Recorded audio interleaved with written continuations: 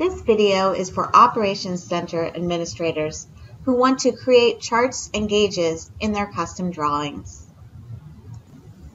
You can easily add charts and gauges to your drawings in the layout view. These can show you metrics from an integration or data that you store within Operations Center. In this video, I am going to show you how to create a line chart and a cylinder gauge. I am logged into the Operations Center dashboard. I am viewing a NetIQ App Manager server. I am showing a chart with CPU metrics and a cylinder with server uptime. Now let's go to the Operations Center client so I can show you how to configure this custom drawing. I have selected the server in the Operations Center client. I have also switched to the Layout tab. I will now right-click in the drawing area to select New Drawing. This will clear my drawing and allow me to start editing.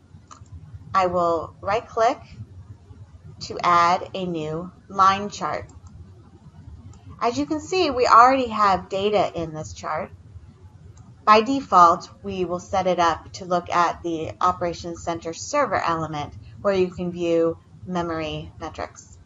Now I will right click to customize this chart. I'm going to use most of the defaults in this dialog, but I need to switch to the Data Properties tab and change the time period to be the last six hours.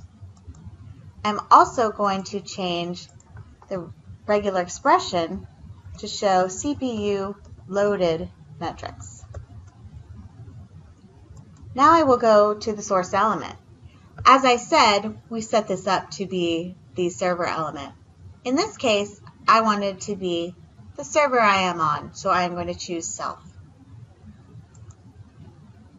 Now you will see that we are showing the CPU metrics in the chart. Now I will create a cylinder gauge. Right click in the drawing area again to add a cylinder gauge to the page. Now I need to customize this.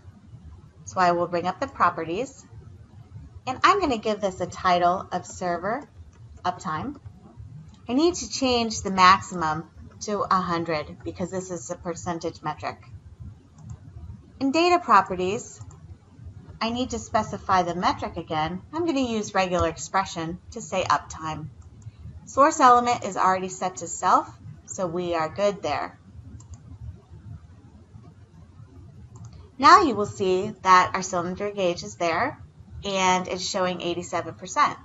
And it's showing critical because I have set this up to show anything under 90% of uptime to be critical. Now I will save this drawing and switch to the view mode.